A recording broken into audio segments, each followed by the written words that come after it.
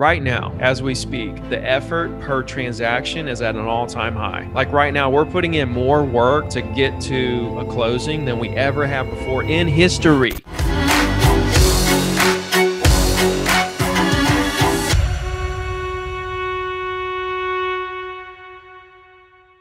How do we, what message are you preaching to get kind of back to business as normal where we have more inventory? Is, you know, I see a lot of people that I follow and coaches teaching this thing, you know, preaching seller rent back and, you know, things of the sort. What is your strategy and method to advising sellers to list their home? Same as before, right? So the, the, the strategy never changes. Like the climate of the of the market changes and kind of how we operate and what we, you know, the language that we use and how we advise our clients change. But our is always the same. We want to have as many voice to voice conversations, right, with as many people in our market as humanly possible. Period. End of story. The common denominator, right? The common denominator of all closings, think about this. The common denominator is a voice to voice conversation. So I don't care where you get your leads from, by the way. I don't care if you use Zillow or Facebook or realtor.com or sphere of influence or what however you do it. Okay. I'm not saying you need to go cold call everybody, although I think that could be probably the best method, right? But I don't care where you get them from, as long as whatever your method is of getting leads, that it's that it's producing um, enough voice-to-voice conversations to keep you busy from nine to twelve every morning. And like here, here's the punchline: right now, as we speak, the effort per transaction is at an all-time high. Like right now, we're putting in more work to get to a closing than we ever have before in history. Inventory's at all-time lows, and you know demand is is through the roof. Now, I was here here in 2003 where this is a very like the climate of the the market is so similar to 2003 in terms of supply and demand. Completely different ball game with who the buyers were and, and what their intentions were. The big difference is buyers now are actually end users. They're buying it because they want to live there. They're buying investments to buy and hold. No hardly very small percentage of people are buying to flip the flip the property tomorrow which is what was happening in 2003 and 4 and so that kind of built this house of cards that eventually crumbled. So we don't have that right now. We got a really solid market, even though prices are high and things are a little crazy. It's actually a pretty solid market, especially with the regulations on lending. They're really making sure people can afford these homes. So, unless something happens where people lose their jobs or lose income, we're going to be fine with the real estate sector, I think, moving forward. Um, we may see some kind of slight correction at some point, kind of deal. But you know what's really hurting us is lumber prices and materials for builders is crazy. So, in a time where we really need supply, builders can't even build because lumber prices went up 200% since last April. It is a very interesting place that we're in right this second. But um, the strategy is always the same for me. First, I have to realize, okay, the common denominator is voice to voice. Okay, even if it's online leads, what do you, these these guys that are that are buying uh, Zillow leads and spend? I know I know teams that spend a million dollars a year. And what are they doing? They have a team of agents who call those leads all day long, right? So it comes right back to talking to people on the phone or in person. So if we know that the common denominator is voice to voice, right? There's not going to be a deal without voice to voice, period. If we know that, now let's reverse engineer ourselves into as many closings as possible. And so the equation is to have as many closings as humanly possible, we got to have as many conversations with people in our market as humanly possible. Really, that's the end of the story. So what we need to think of ourselves as is a data collector. Like all of you, when you wake up in the morning, I don't want you to think of, oh, how can I sell a property today, right? I want you to think, how can I meet people and get their contact information and stay in touch with them forever, right? If we can add five people to our database every day, we are absolutely crushing it because the effort per transaction right now is at an all time high, but effort per, per relationship created is the same as it's always been. It all comes back to your tone, your body language, your intentions, the fact that you are a hard worker and you're dependable and you do what you say you're going to do, right? All those things that people really want in an agent, that's the way you need to be. And that's what's going to win listings. So it's not about approaching a property owner and seeing how we can get them to list their property. It's more so how can we get this property owner to become our friend and like us forever and never forget who we are in, in which once they decide they want to they want to sell, then they're going to come to us That's the name of the game right there. And it's called personal branding. it's called personal branding versus sales. Sales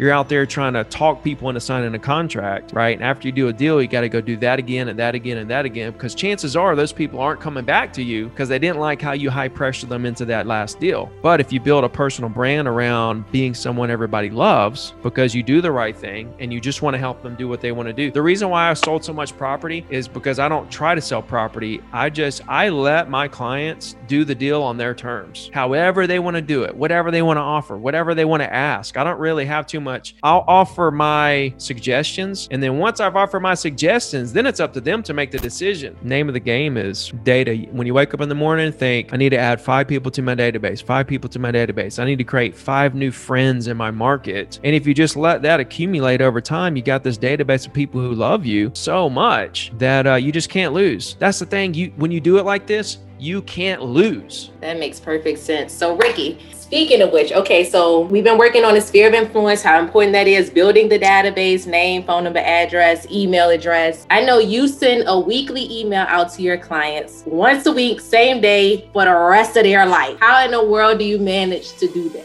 How do I not manage to do it though? You know what I'm saying? Like it, it takes like 30 minutes a week at the most to come up with this like elaborate email. Like if you wanted to just do deal of the week and just pick out like a really great listing every week and just send it out every Wednesday at 8:30 in the morning, heck, that's good enough. You just got to have your name in front of them on a consistent basis. See, the weekly email, and this is why I do email because 90% organic reach, which means 90% of the people who are in your list are going to see it at least in their inbox. They may not open it, but they're going to see it it's an impression. Um, when you know you post on social, right? That's like going to be a one or two or three or four percent organic reach, which means four percent of your followers actually see that content. For you want to build your business on four percent or ninety percent, right? I'm going to go with ninety percent. That's going to be my foundation, my building blocks, and then I'm going to stack social on top of that. That's the thing. A lot of people, social is the building blocks for them, and that's where it's great, right? it, it is great, and there's so many things you can do. And then when you get into the ads world, you know, it opens up so many doors. But let's be real. Let's let's filter these our clients. Let's collect their data into a database that we can then for sure stay in front of them every week with the 90% organic reach. Why not? And so the weekly email on the same day of the week, every week forever, shows them how dependable you are. Consistent, hardworking, professional, knowledgeable. Like it does all the heavy lifting for you to show them who you are as a person. And then when you create it every week and you give your two cents and opinions on stuff. Like, here's a great deal in the market, and here's why I think it's a great deal. And here's a great restaurant in the that just opened up, and I went there for dinner last night. And let me tell you something that was incredible. I had the the shrimp and da da da. Tell a little story. When they when you start to share about yourself and your thoughts to your to your clientele, they just love you even more. Instead of these automated emails, you know, about how to cook shrimp etouffee and like what color to paint your walls in the fall and 10 buyer tips and stuff like that. It's horrible. See, when people people see that automated generic content, they immediately think lazy.